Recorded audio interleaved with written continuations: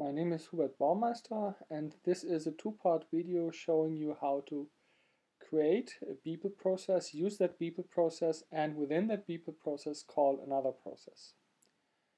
In the first part what we're creating is a very simple BPEL process that appends hello to its import, just it's a, a small hello world program that we programmed previously in uh, Java. Now we will do this using the business process execution language. To start is we create first a project. Now this project is a SOA project and it's a BPEL module. Uh, we call it Hello World. BPEL.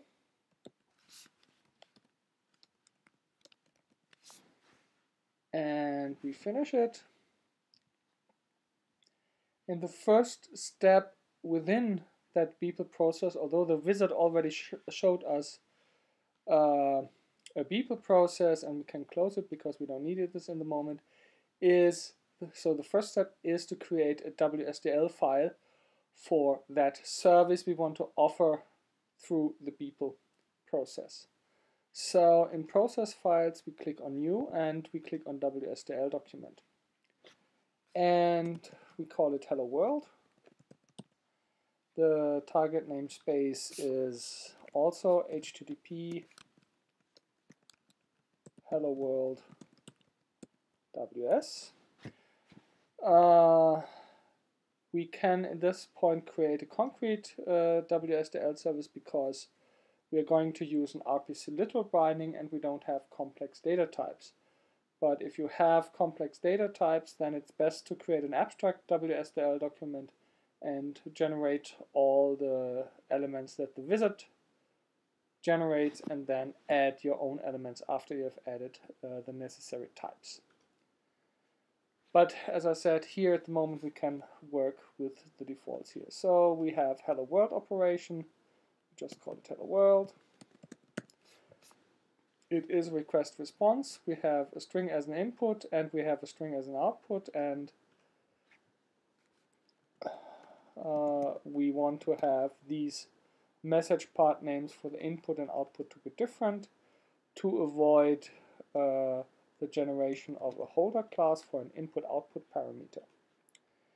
Now here we have generate partner links automatically and this because we're now doing uh, WSDL for a BPEL process we actually say that this should be done. Then we have the information on the binding, that is fine, and we finish. Now we have generated a WSDL that offers a port type with one operation that takes a string and returns a string. So we can use this in our BPEL process. Now we open our BPEL process again and we import the WSDL document. In this case, it's quite easy to drag and drop this to this point to the left side. To the left side is all those operations offered by the BPEL process. Later on, when we put something on the right side, it's all what we uh, what the BPEL process calls all the operations. So we have here our partner link that is where we get our request from and where we have to send our answer. Now we have to actually receive first the request and we have to reply to that request. So we have receive. Now we have to say to what where we receive uh, the message from, from which external partner link. And we do this by clicking on this envelope icon here and drawing it or connecting it to the operation that this one we want to receive matches it from. And similar, similarly, we do this here for the answer. So now still you can see there are uh, errors here and that is because we have to do still something we can click on this and we see what is missing and we see here is a variable attribute and so on is missing. Um, but instead we just click on double click on here and then we have the name That is the partner link. That is the operation we want to use, and we, then we have to have an input variable. Now here we can just create this input variable, and it's called hello world in. And that was it. And on the other side, we have the reply, and that is a normal response, and we create an input uh, output variable, output, and say OK. So it takes some time, but uh, soon these errors uh, vanish, and uh, you can see here uh, no errors, but here's still a warning and we have here that the hello world in part 1 is not used. Actually what we have to do is we have to assign the input part to the output part. And to do this we use the assign operation here. And we double click on the assign. And then we get an editor here that allows us to edit uh, the assignments. We have on the left hand the variables we can copy into and we want to copy something here into the output and here on the left hand side we can uh, select the one we want to copy from. So if we want to have an echo service then we just copy from the hello world uh, in part to the hello world out part and as you see they, these still have the same name so in the wizard uh, it didn't accept my uh, the change into input and output, but that's fine for the moment. So that is a direct copy. But what we want to actually want to have is we want to concatenate this. So we delete this link with the delete key, and then we uh, uh, look for operations like here for string, and we can have here an operation that concatenates two strings. And uh, the first string of the concatenation is, of course, uh, or the second string is our input, and the first string is a string literal, so we go to the strings, and we select string literal, and the order is a little bit wrong. This string literal should contain the value hello, and a blank and we take this to the first parameter and what we want to have is that the result goes into the hello world out part. So we can save the process now. We can go back here to design mode and see our process. Uh, we can actually check the process when we go here on the BPEL file and say check XML. This is a, a check for valid uh, for well-formed XML, and here it checks for valid XML, and we don't have any errors, and that's a good sign. But um, not a necessary sign that everything works. So now we have um,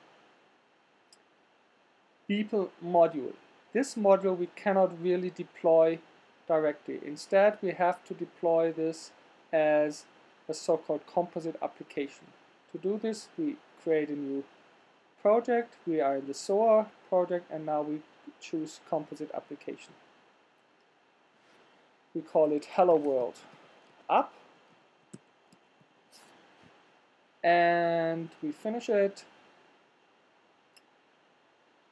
And now what we're just doing is we take, grab the module, the BPEL module, and drag it to this composition editor. And we can then say build the project. Now the application is the one we can actually now deploy.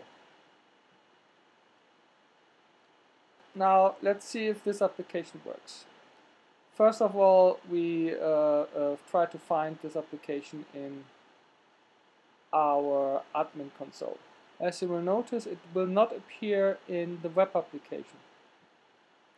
It's not a standard web application anymore. Thus, it also does not appear in the web services. It does, however, appear in the uh, JBI service assembly. And there we have our Hello World app. a very easy way to test the application is that in the Hello World app and in the test field here we create a new test case. And we call it test hello world. We say next. And here we have to select uh, BPEL document, uh, WSDL document. We have to select an operation. In this WSDL uh, document, the operation want to test. And we get actually a template for the SOAP message to be sent out. And we replace this by world. And we can actually then save and click on the test and run the test. Now what happens is that there will be an error message. The test will fail here. And the reason is that we didn't specify what we have as an expected output. Now since this is a complicated SOAP message, usually what one does is one first checks that the right output is generated and then takes that output as the expected output.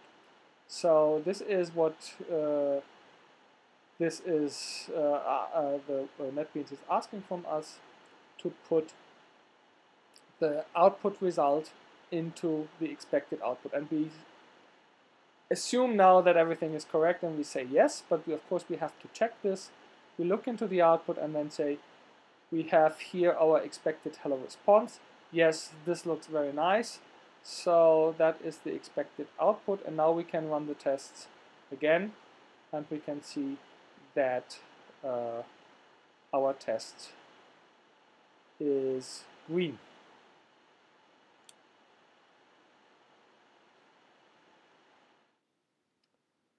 So in the next step we want to write a Java client against this BPEL web service. Uh, we already did this and the only interesting part here will be how to get the WSDL off the web service or BPEL service we have just created. We have to look now in the WSDL file and see what kind of port address we have used. So we're going down here to SOAP address and then to location. And this is really important. Here the address that you put in uh, a WSDL file for a BPEL process, that is actually the address this process will be available. With the Java web services, we saw that Glassfish is replacing the SOAP address by its own version of the SOAP address. Here, actually, what you write in here, that actually counts. So you can write, define your own path here, you can define your own uh, port number here. Now, usually the PAR, uh, uh, the URL generated works fine, with the exception of that we don't know what is the HTTP default port. Now, how do we find out about that one? And uh, it is 9080, but if you are unsure, then you can look into services in JBI in the binding components and here you see in the HTTP binding and here you go into properties and finally you see here default HTTP port number and that is 9080. Okay, now let's test this, that this is uh, uh, correct. So we copy the WSDL here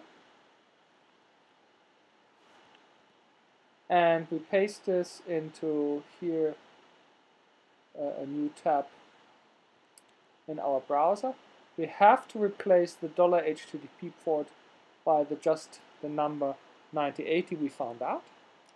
And at the end we add a question mark WSDL so that is a convention that on the port where a service is available if it produces a WSDL then you can actually send a GET request with question mark WSDL and you get the WSDL. So if that gives us the WSDL, then we also know that our service is working.